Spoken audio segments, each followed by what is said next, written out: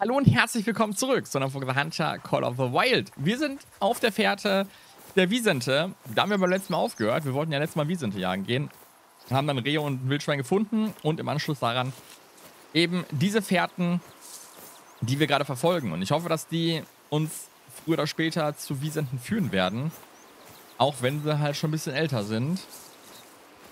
Trotzdem glaube ich, dass wir damit eventuell gute Karten haben heute in Wiesent zu Gesicht bekommen. Und den dann auch äh, zu erlegen natürlich. Ne? Das ist ja die Grundvoraussetzung, wenn wir den zu Gesicht bekommen, dass wir den auch erlegen sollten. Aber erstmal müssen wir es überhaupt in Anblick bekommen. Und die traben halt die ganze Zeit. Die Frage ist halt, wo sie hin wollen. Ne? Ob sie, kann auch sein, dass sie zu diesem See hier wollen. Das ist dann schon sehr weit. Manchmal sind auch in der Ecke hier. Oder halt irgendwo im Wald, aber wir werden es früher oder später sehen. Da ist auch ein männlicher bei. Das könnte sogar der männliche sein, den wir ganz am Anfang in der letzten Folge getrackt haben. Hm, da war nämlich auch ein männlicher bei. Beziehungsweise war der eigentlich alleine und hat sich dann. Ich weiß nicht, ob er sich den hier angeschlossen hat oder ob der einfach nur daneben her lief. Aber hören tun wir erstmal nur ein Reh. Sollen wir sagen, wir lassen das Reh mal Reh sein. Denn ich würde schon gern Richtung Richtung Wiesent aufbrechen. Ja. Na also. Da ist es doch. Das erste.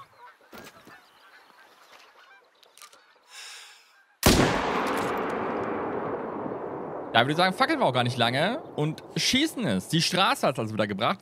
War aber, glaube ich, ein anderes als das, was wir verfolgt haben hier, beziehungsweise keins aus der aus der Gruppe.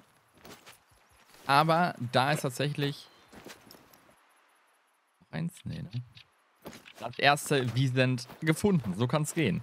Die Straße hat also mal wieder den Erfolg gebracht, denn die ist auch immer ganz gut hier auf jeden Fall, um ein paar Wiesente zu sehen. Und auch heute war es genau so. Da unten sind wir auch noch eine Fährte, wahrscheinlich auch von einem Wiesen. Ich spotte mal eben so ein bisschen da schon mal in den Wald und um die Kurve da rum. Weil vielleicht sind noch welche beigestanden, die ich nicht gesehen habe. Aber sieht im Moment nicht so aus. War zumindest schon mal das erste. Das ist schon mal gut. Da schon mal ein sehr guter Start. So kann die Wiesentjagd beginnen. Ob wir da noch mehr finden, das bleibt abzuwarten. Ich hoffe aber, dass dem so sein wird. Aber you never know. So, wo denn, wie sind denn eigentlich hin? Ist das da unten das Ding? Oh, das ist ein Fuchs. Ja?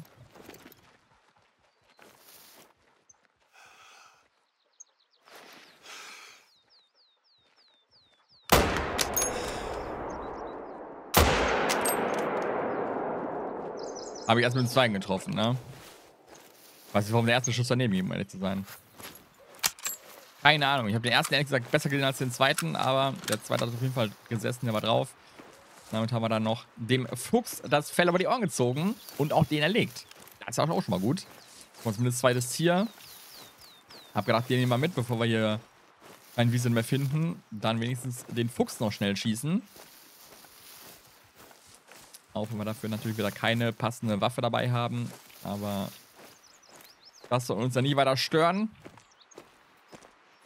Wir sammeln jetzt erstmal hier unser erlegtes Tierchen ein und gehen dann weiter zum Fuchs. Gucken wir da eben in den Wald schon mal rein.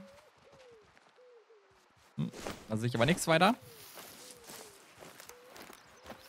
Dann haben wir hier das schön doppelt Lunge, Goldwertung sogar 203. Schönes Wiesen also. Was wir da haben. Das nehmen wir mit und richten dann unsere Aufmerksamkeit dem Fuchs, der hier irgendwo liegen müsste. Lass einfach meinen Hund suchen. Ich habe jetzt keinen, keine Lust hier den Anschluss zu suchen. Ich glaube, da vorne ist aber der Anschluss. Und der Fuchs müsste dann weiter oben liegen. Ist auf jeden Fall verändert, habe ich gerade nachgeguckt. Insofern wird er den schon finden.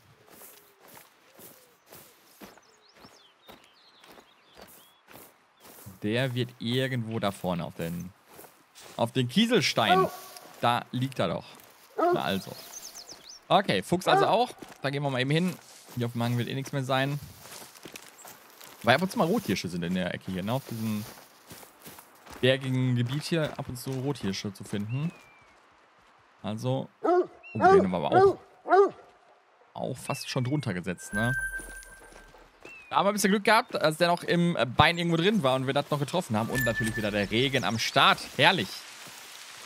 Herrlich. Da kommt auch direkt wieder hier Jamaika-Feeling auf. Jamaika in Hirschfelden. Man kennt's. Ja, man kennt's. Wenn jetzt hier noch so eine Hanfplantage wäre, da würde ich mich auch sehen. Schön so eine Hanfplantage. Da würde ich aber die hier Rasterlocken rausholen, ne? Würde ich mir die Haare wachsen lassen. Weiter geht's. Ähm, wir gucken mal, wo wir hier noch ein paar Wiesente auftreiben können. Damit wir die dann hier finden. Werde ich mich einfach mal hier Richtung Westen orientieren oder Nordosten besser gesagt. Wir haben auf jeden Fall welche gehabt, die in die Richtung unterwegs waren. Ne? Jetzt andere Richtung macht keinen Sinn.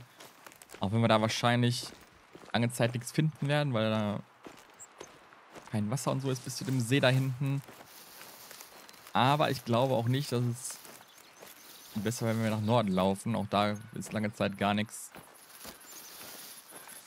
Und vielleicht haben wir Glück, dass wir hier was finden. Hier sind auch schon wieder ein paar Rothirsche im Waldgebiet. Also vielleicht finden wir auch die einfach. Während wir die Gänse über uns langziehen hören. Die sind schon dabei. Wir müssen doch eigentlich fast irgendwann die Wiesenfährten kreuzen wieder, oder nicht? Wenn ich so ein bisschen weiter nördlich halte, würde ich fast behaupten, dass wir, wenn sie nicht abgedreht sind, wir wieder irgendwann auf die Fährten stoßen werden. Ich glaube auch nicht, dass sie so weit östlich noch gelaufen sind. Die werden bis zum See gelaufen sein und dann wahrscheinlich nicht allzu viel weiter. Weil dahinter beginnt das, das Feldareal und ich habe, glaube ich, auf diesem Feldareal, ich glaube, ich habe da noch nie Wiesente gesehen, um ehrlich zu sein.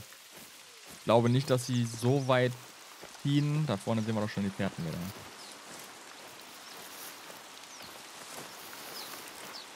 Und da liegen sie auch. Da liegen sie nämlich auch, die Wiesente. Da ist doch das Ruhrgebiet. Dahinter im Busch liegt auch noch. Der ist aber schon mal männlich da auf jeden Fall. Okay, dann schießen wir den und schießen noch einen zweiten daraus, würde ich sagen, weil die liegen da gerade ganz gut. Ich nur mal gerade, ob wir irgendwo noch einen guten spotten können, aber ich glaube, der dahinter ist ganz okay. Der da, hier, der da liegt, der, den ich hier im Visier habe, aber den kann ich nicht nicht tracken. Aber da ist es doch. Das Wiesengebiet. Da werden wir erstmal versuchen. Unser Glück.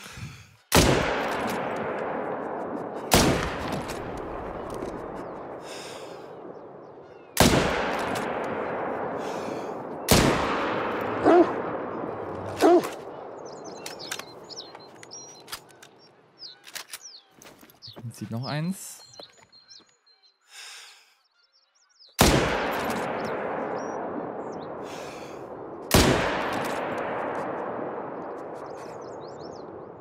Das sollten wir auch erwischt haben. Nicht, ob wir den ersten hier, den wir nochmal beschossen haben, oh, zwei, drei Mal, ob der nicht sogar der war, den wir zuerst beschossen haben und der auf mich zu lief zum Angriff. Da bin ich mir nicht sicher. Aber wir haben sie gefunden. Die Wiesente. So schnell kann es gehen. Da liegen sie nämlich auf einmal vor dir. So, und das hier ist der, ja, das war der erste männliche, der sich gedacht hat, jo, da bin ich doch dabei.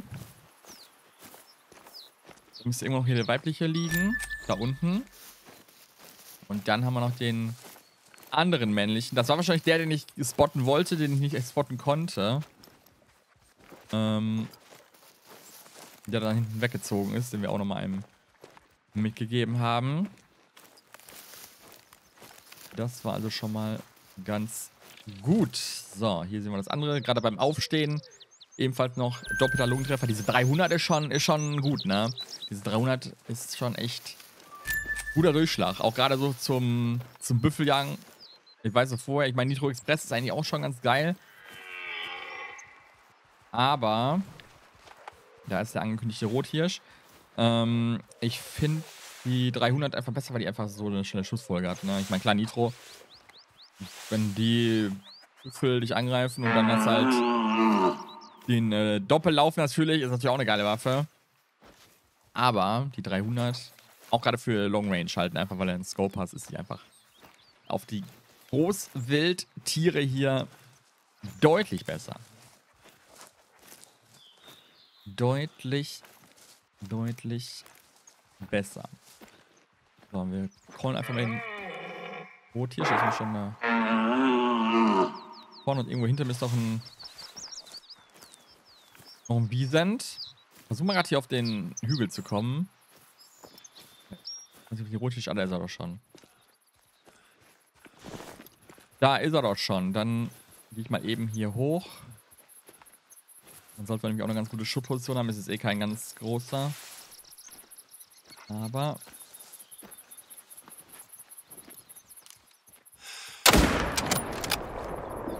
Erlegen werden wir den trotzdem. So, da vorne ist unser Wiesent. Das sacken wir dann auch ein. Da hier wieder wie am Fließband, ne? Von einem Ziel zum nächsten. So lobe ich mir das. Oh, erstmal in den Himmel gucken. Ähm, die Wiesenter werden sich jetzt wahrscheinlich hier noch aufhalten, um ehrlich zu sein, weil die hier ihr Bedürfnisgebiet haben. Ich glaube nicht, dass sie allzu weit weglaufen. Hier sehen wir auf jeden Fall 162er Wertung. Ein Bronze. Wiesent. Nehmen wir mit. Und dann gehen wir zu unserem Rothirsch, den wir auf jeden Fall auch getroffen haben. Und da unten, ah, da hinten sind die Wiesente. Jetzt schon Warnruf. Ob die mich da schon wahrnehmen. Ah, da hinten ist es.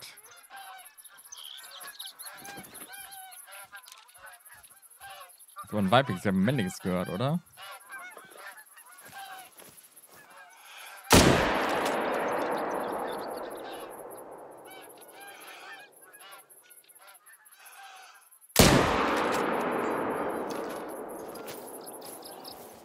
Also getroffen haben wir uns auf jeden Fall. Wird auch verenden. Wir kümmern uns aber erstmal um den Rothirsch, der jetzt hier in einer anderen Richtung liegt. Und das Wiesent schnappen wir uns danach. Das sollte ja ein Kinderspiel werden. So. Schon mal hier den Anschluss auf jeden Fall markieren. Warte. Ey. So. Da nämlich. Und hier müssen wir mal unseren Hund eben drauf ansetzen. Aber der ist, glaube ich, auch nicht allzu weit gelaufen. Ich glaube, der muss irgendwo hier gestanden haben. Ah, davon liegt er doch, ne? Glaube ich noch schon. Er liegt dort auf der Wiese. Auf dem Präsentierteller schon fast. Den hätte ich auch ohne Hund jetzt gefunden. Aber ist ja egal. Kann der Hund sich austoben. Und kann er hinlaufen. Ich weiß gar nicht, was der mittlerweile für ein Level hat, um ehrlich zu sein. Ich weiß, ich fütter den auch nie. Deshalb levelt der eh nicht. Aber 22, ja, okay. Und die Gänse sind schon über mir anscheinend. Sehen nur die Schatten auf dem Boden. Und da ist unser Rothirsch, den wir zwischenbei erlegt haben. Der bellt diesmal gar nicht, ne? Das war diesmal ist aber zurückhaltend.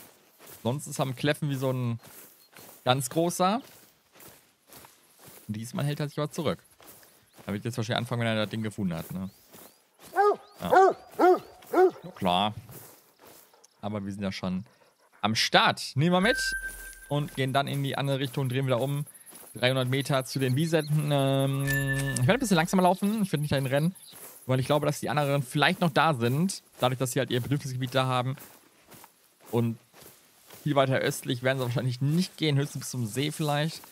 Die werden wahrscheinlich so ein bisschen da in der Region noch aufhalten. Dementsprechend glaube ich, dass wir vielleicht mit ein bisschen Glück noch ein Wiesent da schießen können wenn wir da jetzt nicht reinrennen wie Rambo. Dann natürlich nicht, weil dann, dann sehen wir es nicht rechtzeitig. Dann sind wir zu spät. So, 400, äh, 400 war schon, 240 Meter. Let's have a look. Wo die ersten Warnrufe kommen. Aber ich bin bereit, erneut abzudrücken.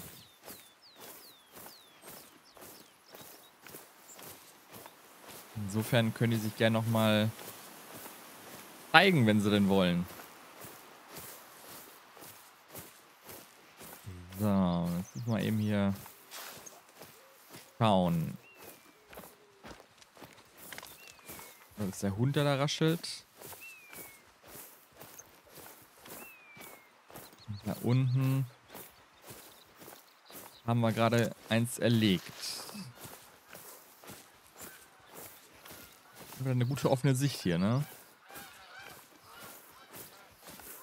Eigentlich eine ganz gute offene Sicht. Da liegt halt wie sind, was wir gelegt haben.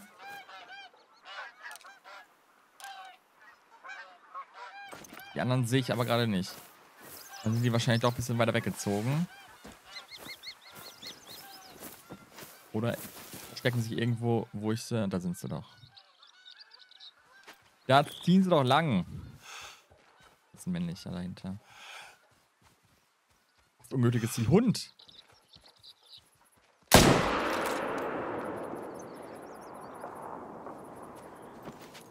Da war der Hund im Weg. Aber zum Glück noch den zweiten Schuss, glaube ich, drauf bekommen. Ich weiß ja nicht, ob ich getroffen habe. Ne? Der sah so wenig gezeichnet aus. Aber mh, hm, haben wir aber. Okay. Und den Waypoint nämlich auch schon mal setzen. Wir gehen jetzt erstmal hier zu dem Wiese Nummer 1. Erstmal zu Wiesent Nummer 1, das liegt nämlich da vorne. Und dann gehen wir da den Hang hoch. Ja, diese Wiesente, wenn die fliehen, die fliehen halt nicht weit, ne? Man kann da schon relativ viel auf einmal schießen. Die bleiben halt meist so relativ lokal in dem Gebiet. Und wenn man halt so ein offenes Gebiet hat, wo nicht so viel Büsche im Weg sind, dann kann man da auf jeden Fall einige von rausschießen. 130 Meter bis zum nächsten. Mal gespannt. Das sah erstmal echt nicht so gut aus, weil er auch keine Gesundheit verloren hat und nix. Aber scheint dann doch relativ schnell verändert zu sein. Also Schuss war wohl doch schon in der Lunge. So wie es sein soll, damit er nicht hier die elendlange Fluchtstrecken hinlegt. Und da können wir sogar auf der Kuppe da oben gucken, ob wir auf der Wiese dahinter, ich glaube, da sieht relativ frei aus, ob wir da noch mehr sehen. Das könnten wir, glaube ich, machen. Dann sollten wir da ebenfalls ein paar Wiesente erblicken können im besten Fall und vielleicht noch mal eins schießen. Aber ich glaube, die männlichen haben wir bald alle raus, oder? Braucht man immer wieder ein neues auf. Aber ich glaube, sobald... Langsam müssen wir wahrscheinlich alle haben. Ich erstmal hier meinen Hund ein. Guck mal, wo der mich hinführt beim Anschuss. Ah, da vorne ist der Anschuss, oder? Ja. Sieht auf jeden Fall nach einem guten Lungentreffer aus.